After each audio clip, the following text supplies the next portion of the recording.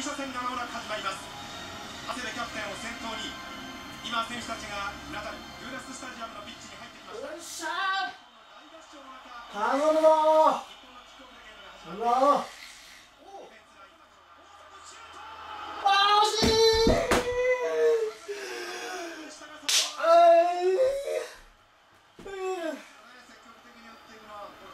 この位置はシュートゾーンですからね巻いて遠い方のポストを狙ってきたようなボールシュートになりました。い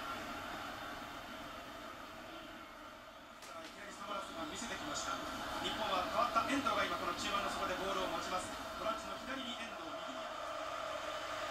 香川動き出した。内田。あ今チャンスだ。内田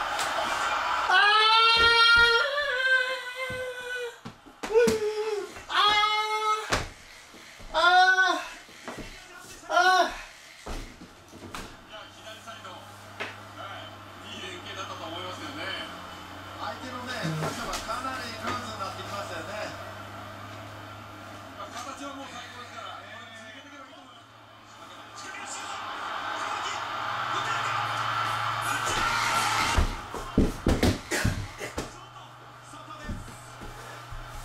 内田。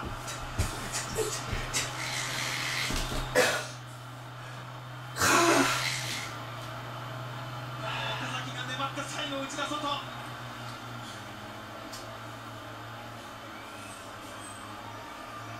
やもうこれ繰り返していいと思いますけどね。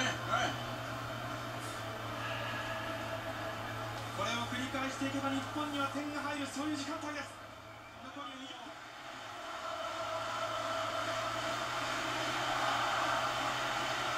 いやすごい雰囲気。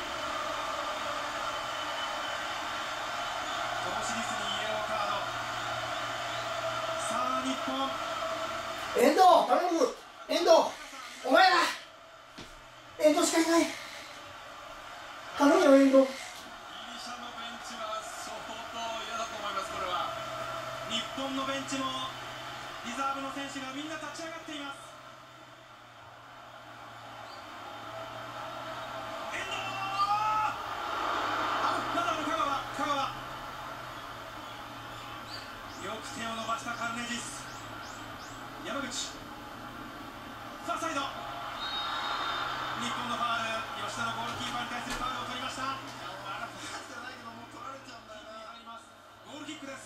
さああとどれだけプレータイムが残っているか。